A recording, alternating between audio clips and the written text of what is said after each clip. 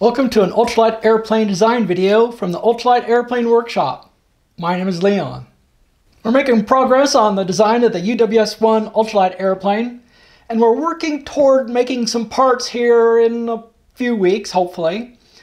And we want that first part to be rudder for the airplane.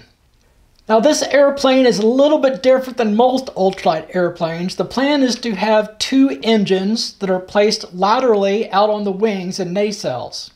Now this presents a problem that most single engine planes don't have, where if you have an engine out condition where one engine dies and the other one is at say full power during a climb, then the airplane is going to want to yaw, turn hard into the direction of the failed engine.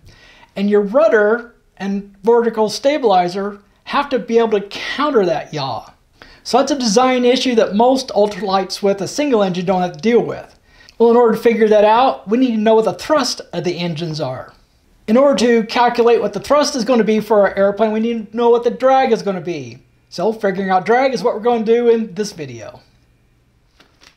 As any of you who have had some pilot training and definitely some aeronautics training this graph should look pretty familiar. This is the portion of the performance that has to do with drag on an airplane. And this shape is pretty familiar. You're going to have some lowest drag speed for an airplane, and then, of course, as you increase speed, the drag increases. But also, as you decrease speed, the drag increases. Let's get into how we can estimate this, at least roughly, for an airplane. The main reason that you're going to want to know the drag for the airplane is to know if the motor you've chosen is big enough, or vice versa. You figure out the drag and then you select the motor based on how much drag your airplane has. And you use that drag to size the motor. Now, in flight, when you're in straight and level flight, not accelerating or decelerating, the thrust of your motor is going to equal the drag on the airplane. So once you've figured out the drag, you can figure out the thrust. Once you know the thrust, you can figure out the horsepower. Now that's just to fly straight and level. Of course, you want to climb. In order to climb, you're going to need even more power from your motor. You still need to match the drag on the airplane, but you also need extra thrust to help climb. So your thrust is going to end up being more than the drag.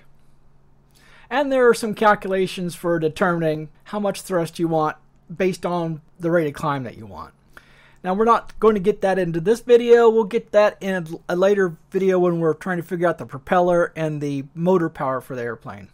Another reason you might need to know the drag, you would not need to know this for a conventional airplane with just a single motor, but if you're going to have multi-engines, and if they're going to be lateral to the center line, in other words, mounted to the left and right of the center line, you'll need to know what the thrust is of those engines for an engine out condition.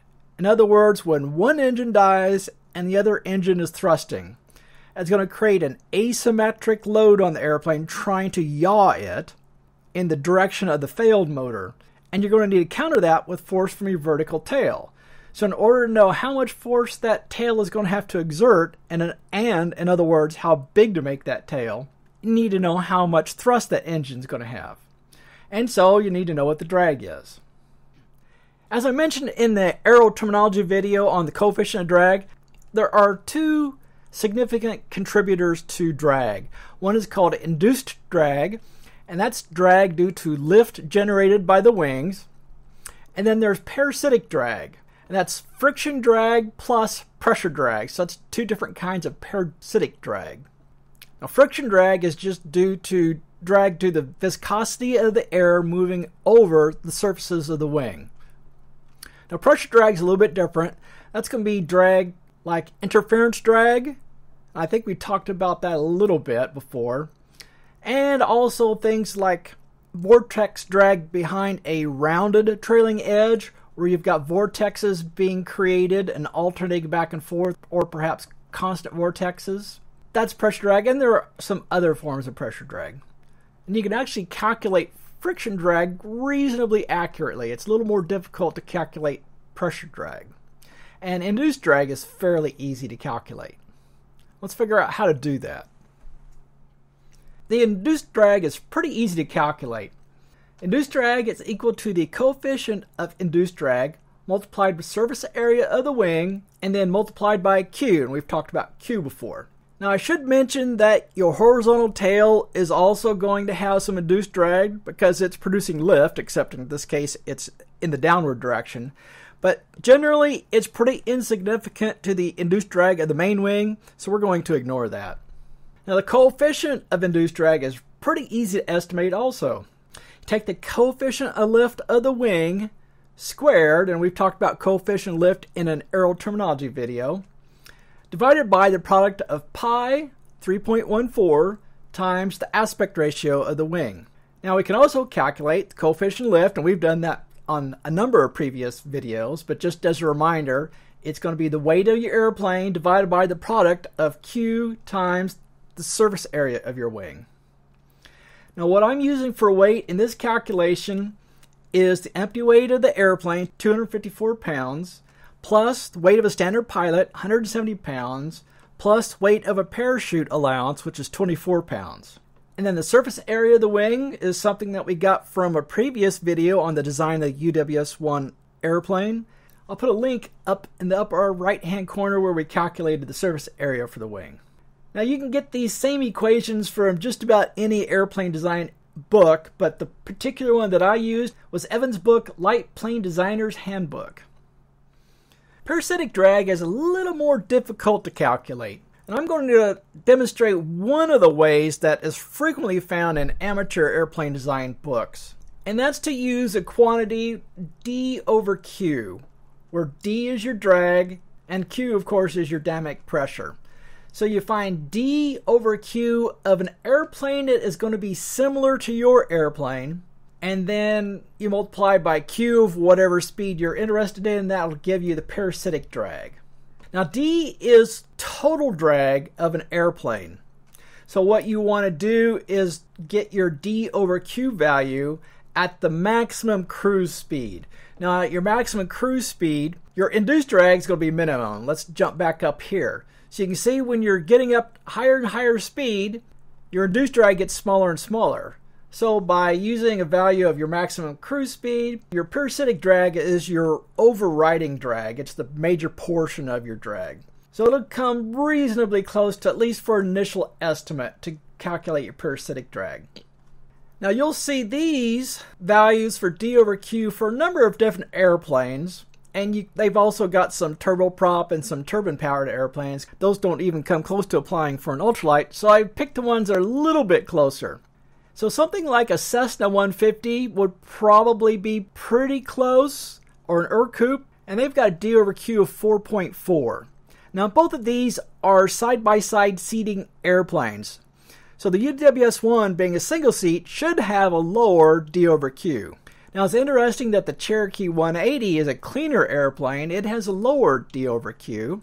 Now the VariEze, the Lancair, the Q2, the Dragonfly, all are very clean airplanes.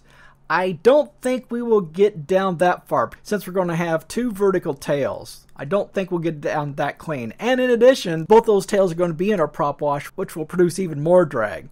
Trying to get down, well, let's say below 2.1 is not realistic. So I think we're going to be somewhere between 2.1 and 3.9 and I'm going to guess we're about halfway between.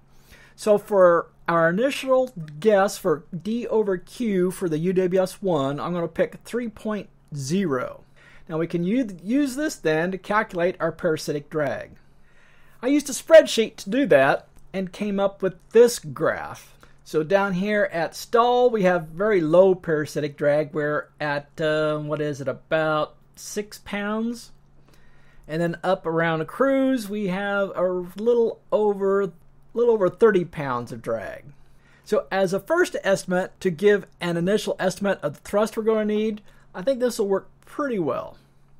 I also played around with another method to estimate the drag on the UWS-1 Ultralight, and that's using the software program OpenVSP. I've used that in quite a few of the other videos on the design of of the UWS-1 Ultralight.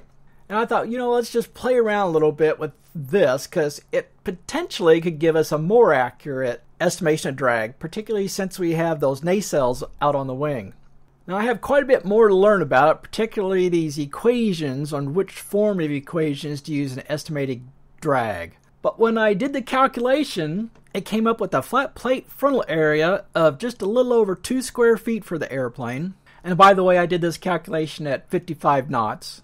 And it came up with the coefficient drag of 0.233. You can calculate your drag if you have the coefficient of drag, and that's this equation here. You take the coefficient of drag, multiply by the surface area of your wing, and then multiply by Q. I did that calculation, and I compared it to uh, the previous estimate that we talked about. Now the solid line was the previous estimate where we used D over Q. This dashed line is the estimate that I'm getting from OpenVSP. As you can see, there's quite a bit of difference here, but that's probably just because I don't understand enough about how to select which equations to use in estimating drag on OpenVSP. So I'm going to have to learn a little bit more about that to see if I can get a more accurate estimate of the drag.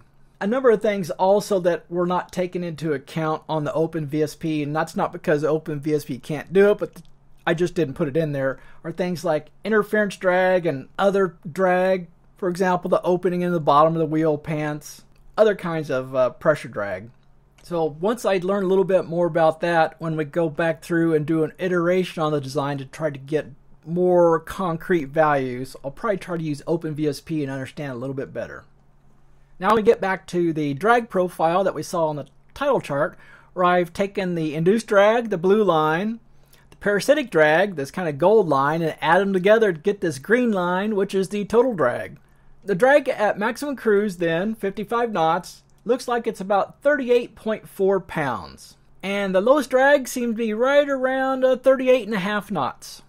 Now I have twiddled around with the numbers a little bit, trying to play around a little bit with weight, for example, a heavier pilot or adding baggage. That tends to move the uh, lowest drag number up just a little bit higher, up around 40, 41 knots.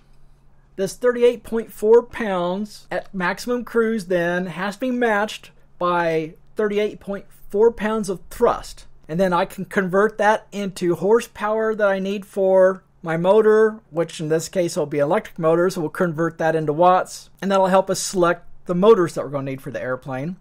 I can also do some calculation to come up with the best angle of climb, and then I will do a drag calculation at the best angle of climb, and then with that calculation then I'll be able to figure out the yawing situation on the airplane when one engine fails and has to be countered by the vertical stabilizer, and I'll be able to calculate the size I need for that vertical stabilizer. Now we have the drag value for the UWS-1 ultralight airplane at maximum cruise. That will allow us to calculate the drag at maximum climb angle, which is probably our situation when we're going to be most adversely affected by an engine out situation although I want to do a little more calculations to verify that. But once we have that, then we can start working on that vertical tail design. If you're watching on Facebook, don't forget to subscribe to the channel if you haven't done that already. There'll be a little block in the lower right hand corner of the screen you can click on to do that.